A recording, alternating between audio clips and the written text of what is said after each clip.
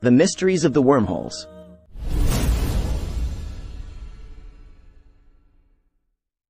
Wormholes are theoretical objects in space that serve as shortcuts through the universe.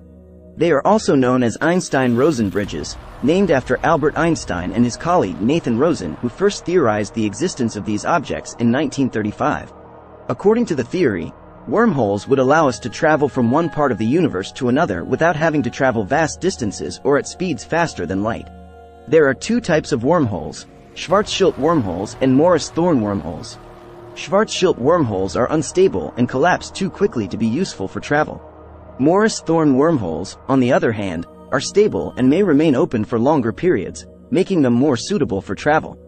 Theories surrounding wormholes suggest that they could be created naturally through the gravitational collapse of stars, or artificially through advanced technology. However, the technology required to create a wormhole is currently beyond our capabilities. One of the most widely accepted theories surrounding wormholes is the concept of negative energy. Negative energy is a hypothetical form of energy that could be used to keep a wormhole open.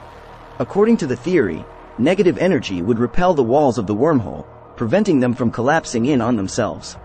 Another theory suggests that wormholes could be used to travel through time.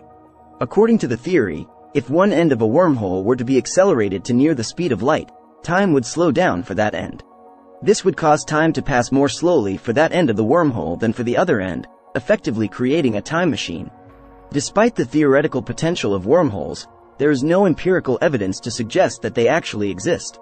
Research in this area is ongoing, and scientists continue to explore the possibility and implications of wormholes in our universe.